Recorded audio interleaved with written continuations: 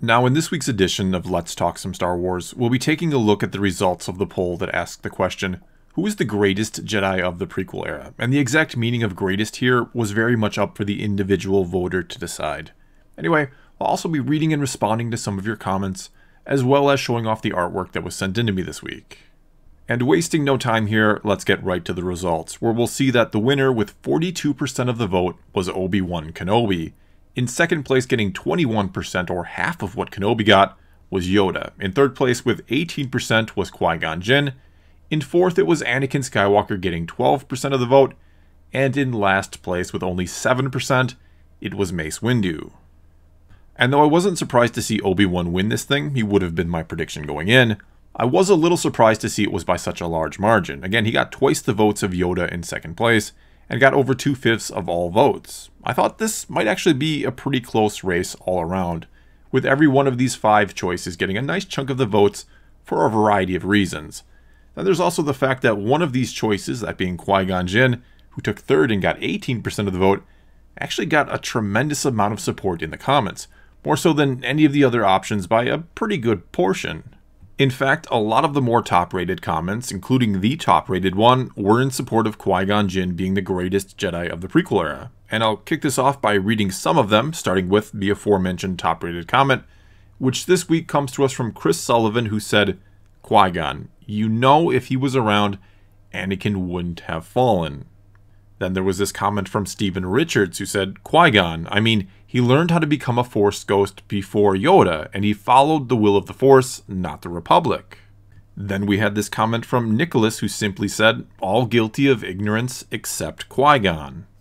Then we had this one from Kenny613 who said, Right away I thought Obi Wan Kenobi and Yoda, but when I let myself get level headed, I realized it was Qui Gon Jinn. He never cared about what the Council thought, he did what he knew needed to be done.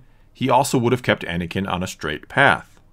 Next, we have what Dion Dorsey said. For me, it would have to be Qui Gon Jinn. He wasn't worried about the Senate or democracy, just the living force. Qui Gon, like his master, felt like the Jedi were straying away from what made a Jedi a Jedi. Then there's what Dan said. Qui Gon wasn't blind to the possibility of the Sith still being around. He wasn't so uptight with the Jedi Code, which was ultimately their downfall. He was the only Jedi of that era that truly understood what it meant to be a Jedi.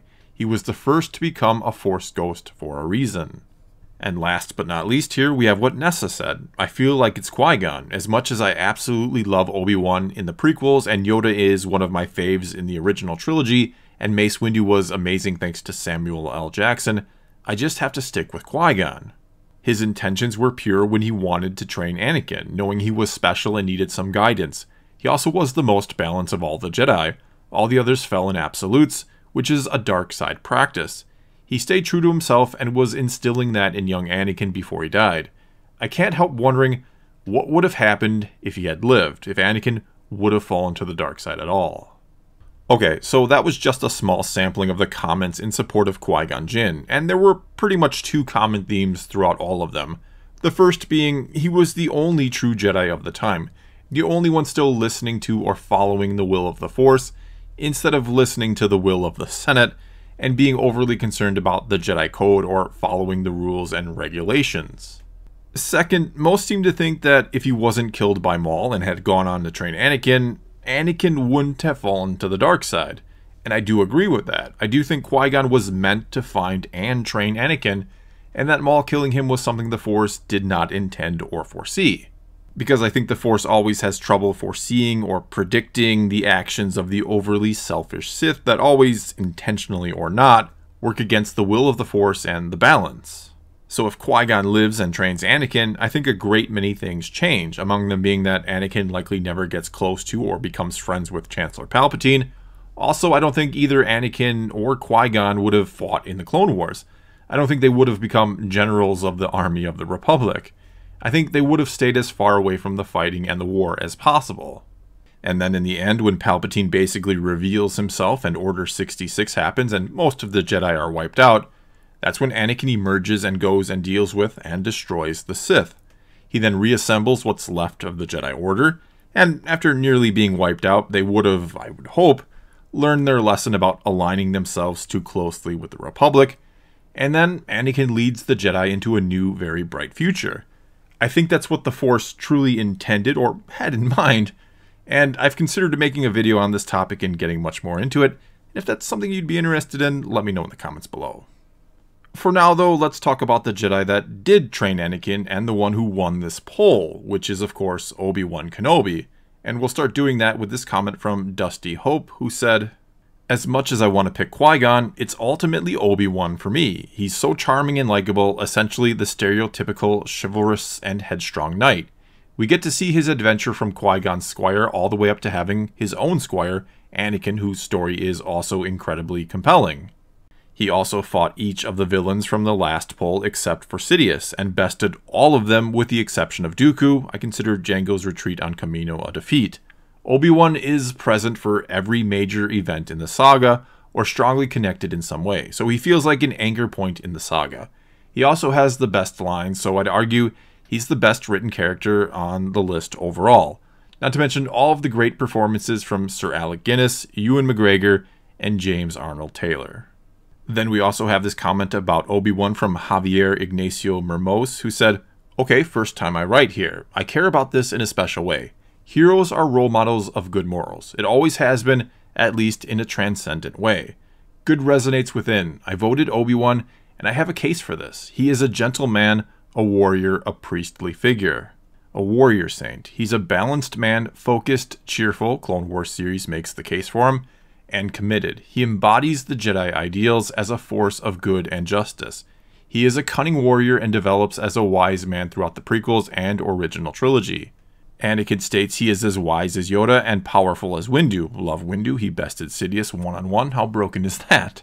I always hear that line and think Anakin is going somewhere. He admires Obi Wan. And in the face of defeat, no snowflaking for Obi. He mans up, takes the beating, and faces his darkest dreams traitor Anakin, and destroy Jedi Order. And he lives up to the challenge, doing what must be done. His old Ben arc is excellent. He retires and keeps hope, giving up his life for others. This is the ultimate chivalry tale, one that resonates with boys and men. Hands up for Obi-Wan. Then we also have this comment from a name I'm not going to try to pronounce and butcher, so forgive me for that. Anyway, they said, The amount of crap Obi-Wan Kenobi has to go through is so unbelievable that to this day I wonder how he did still remain on the light side. Okay, though I don't know if I'd personally give Kenobi the nod as the greatest Jedi in the prequels, I think when we consider everything he goes through in them, and what he ultimately becomes when we see him again in A New Hope, and what he no doubt goes through in the 19 years leading up to that, and that in that time he completes the training to become a Force Ghost, which means he's let go of all of his fear, anger, hatred, and attachments, he might just be the greatest Jedi we see overall, even greater than Yoda in many ways. And as much as I'm looking forward to his series on Disney Plus eventually, I'm a slight bit worried about what they're going to do with him, because I don't ever want to see Obi-Wan go full on Luke in The Last Jedi, where he completely gives up on the Jedi for any length of time. Now, he can certainly question them and their ways and have his doubts about what he's even doing, but I don't ever want to see him give up entirely or walk away. I think that'd be a huge disservice to the character. The idea that he did what he needed to do despite everything he'd gone through is what I and I think many people really love about Obi-Wan. Not to mention, I really see him as the glue of the first two trilogies. He's what holds it all together or brings the story together, and he's also the reason why Luke would one day be able to redeem Vader because of everything he did and gave up for Luke, and that he kept believing through it all. And I think one of the reasons why the Rey is a Kenobi theory was so popular after The Force Awakens is because many people just want it to be true because they wanted him to still be a big part of the saga, to be that key piece of the puzzle he's really always been.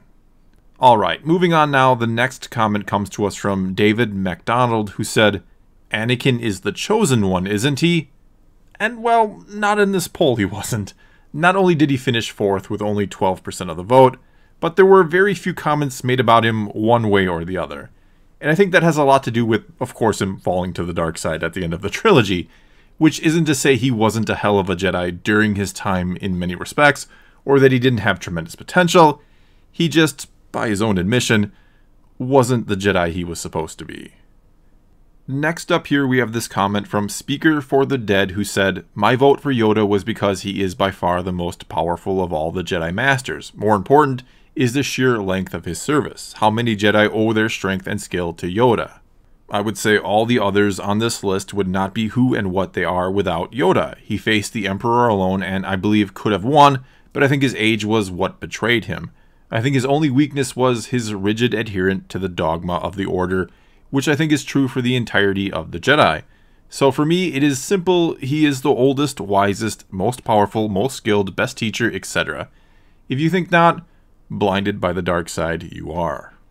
That then brings us to this comment from Calfas, who said, I don't get why Yoda, the Grand Master of the Jedi Order, the wisest Jedi, the Jedi who helped train generations upon generations of Jedi, who could hold his ground against Darth Sidious, is neglected by many. Yoda equals the prequel Jedi Order. Others are great Jedi in their own right, but Yoda is the only true choice. Then there's this comment from a trio Berlin who said, Yoda knows everything and died from old age. This means something. We also had this comment from Thomas H., who said, Yoda, it's always Yoda. And much like with Anakin, there weren't a ton of comments made about Yoda. However, in this case, I think it's because it's just kind of a given that he's a great Jedi. He's Yoda after all. I mean, he took second place and got 21% of the vote, and I believe most of the people who voted for him, if they had to argue or defend that choice, would just kind of say what these comments did that he's Yoda. Do you really need more of an explanation than that? Anyway, let's now move on to this comment from Windex, who said, How is Mace Windu ranked last? The dude did all the dirty work in the Clone Wars and was literally the only Jedi to face Darth Sidious and actually beat him until Anakin betrayed him.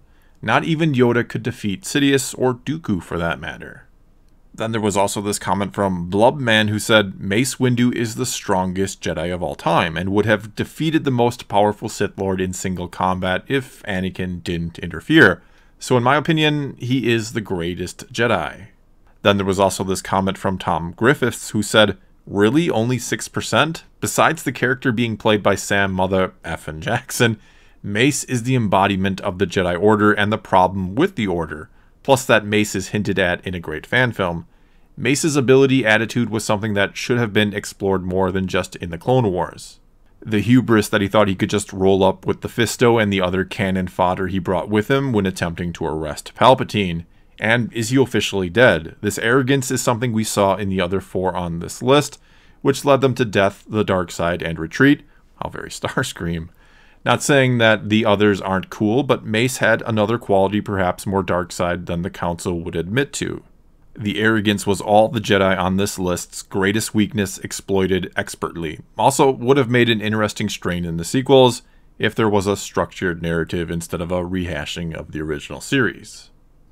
And you know, I think the biggest problem with Windu and why he finished last in this poll is he just wasn't explored that much within the movies themselves. I mean, most of the comments about him centered around the fact that he defeated Palpatine in combat, which, don't get me wrong, is extremely impressive.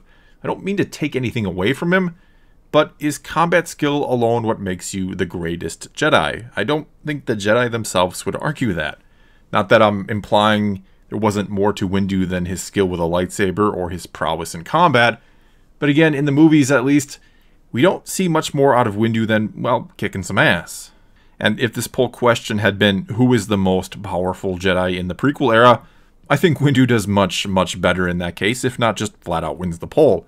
In fact, I think only Anakin and Yoda would even be in the discussion with him, because in my opinion, neither Qui-Gon nor Obi-Wan were really powerful Jedi, at least not in the way I think most people would interpret powerful. Basically, Windu was the best at the thing all Jedi, in theory, always seek to avoid, which is combat. And finally, here we have this comment from Michael B., who said Yoda, wisest Jedi, Mace Windu, most powerful Jedi, Anakin Skywalker, chosen one, duh, Obi Wan Kenobi, Jedi with most integrity, Qui Gon Jinn, the truest Jedi.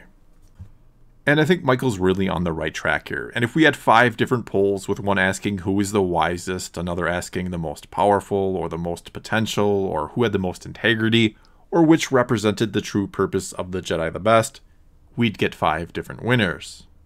And so, what we can perhaps take away from this poll is that when it comes to the greatest, integrity seems to be what matters the most. Either that or people just really love the character of Obi Wan Kenobi.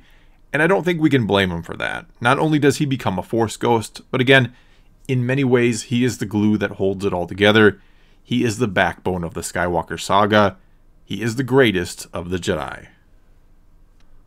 Well, that's all I've got for you this time. Now it's your turn to tell me what you think of what I or anyone else had to say, and if you agree with the results. So leave a comment below and let's talk some Star Wars. And until next time, thanks for watching.